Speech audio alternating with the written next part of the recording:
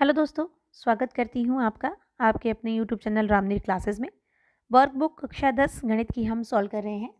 कार्यपत्रक बयालीस तक हम हल कर चुके हैं। इस वीडियो में आप देखेंगे कार्यपत्रक तैयालीस का हल, यानी वर्कशीट नंबर फोर्टी थ्री का सॉल्यूशन इसमें क्वेश्चन दे रखा है, निम्नलिखित बंटन किसी कारखाने के सौ श्रमिकों की दैनिक आय को दर्शाता है।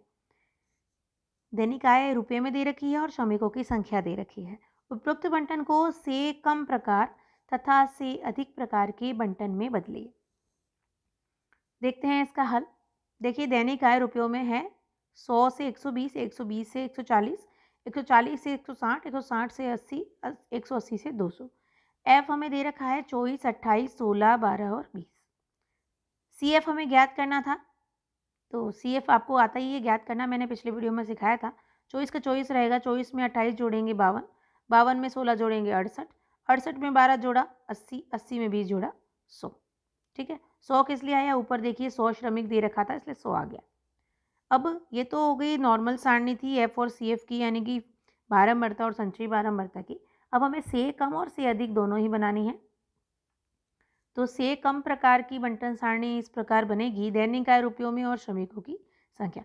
तो से कम बनानी है तो हमें क्या करना है, देखिए सौ से एक सौ बीस था, यानी एक सौ बीस अधिकतम सीमा है और सौ न्यूनतम सीमा है तो एक सौ बीस से कम, फिर एक सौ चालीस से कम, ठीक है? इस तरह बनाएँगे तो एक सौ बीस से कम, कितने हैं? तो ऊपर चौबीस दे रखे हैं, ठीक है? एक सौ चालीस से कम, एक सौ चालीस से कम में जो है, आप देखेंगे एक सौ चालीस से जो कम है, उसमें ये भी कम है और ये भी कम है तो इन दोनों को क्या करेंगे?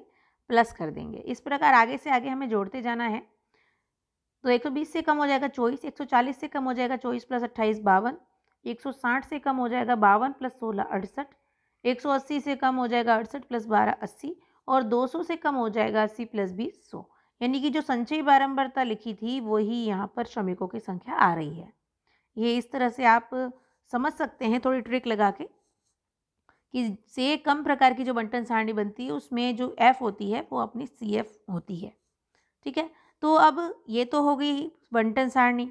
अब अगर इसका हम तोरण खींचेंगे तो उसके बिंदु पहले ज्ञात करने हैं। तो मैंने आपकी सहायता के लिए ये इस तरह से बिंदु लिख रखे हैं। ए होगा एक सौ बीस चौबीस। देखिए, एक सौ बीस से कम था तो एक सौ बीस चौबीस। फिर लिखेंगे एक सौ चालीस बावन। एक सौ साठ, अड़सठ। एक सौ अस्सी अस्सी और दो सौ सौ। इस तरफ़ बनाएँगे। तो देखिए, ए पे एक सौ बीस चौबीस, बी पे एक सौ चालीस, बावन, सी पे एक सौ साठ, अड़सठ डी पे एक सौ अस्सी अस्सी और ई पे दो सौ सौ। तो पैमाना मने मानेंगे एक्स अक्ष पर एक सेमी बराबर बीस रुपये और वाई अक्ष पर एक सेमी बराबर दस श्रमिक। ये मैंने एक अपने आइडिया से पैमाना लिखा है। आप चाहें तो आप अपने हिसाब से भी जो आपको सहूलियत हो वैसा पैमाना ले सकते हैं। ये मैंने सिर्फ़ आपकी हेल्प के लिए लिखा है ताकि आप इसकी प्रैक्टिस कर सकें। फिर है सी अधिक प्रकार की बंटन सारणी। तो अब इसमें जो न्यूनतम सीमा थी, न्यूनतम सीमा से चलेंगे। तो सौ से अधिक, सौ से अधिक तो सारे ही अधिक थे तो हमें सौ लिखना है उसको रिवर्स चलना है, ठीक है? एक सौ बीस से अधिक, सौ में से चौबीस घटा दिए मतलब पहली वाली फ्रिक्वेंसी घटा दी, छिहत्तर, एक सौ चालीस से अधिक, छिहत्तर में से अट्ठाईस गए अड़तालीस, एक सौ साठ से अधिक, अड़तालीस माइनस सोलह बत्तीस, एक सौ अस्सी से अधिक बीस। अब देखिए पॉइंट कैसे बनेंगे? ए सौ सौ, बी एक सौ बीस छिहत्तर सी एक सौ चालीस, अड़तालीस डी एक सौ साठ बत्तीस, ई एक सौ अस्सी बीस। अब पैमाना देखिए, एक्स अक्ष पर एक सेमी बीस रुपये और वाई अक्ष पर एक सेमी दस श्रमिक। अपनी ग्राफ पुस्तिका में इनके तोरण बनाने का अभ्यास कीजिए। तो आपको ग्राफ कॉपी में इनके तोरण बनाने का अभ्यास करना है। जो मैंने आपको बिन, ये जो पॉइंट बिंदु बताए हैं और पैमाना बताया है, से अधिक और से कम, इस प्रकार इन दोनों पैमानों से और बिंदुओं से आप तोरण बना सकते हैं। तो ये हमारी worksheet number forty three complete हो गई है।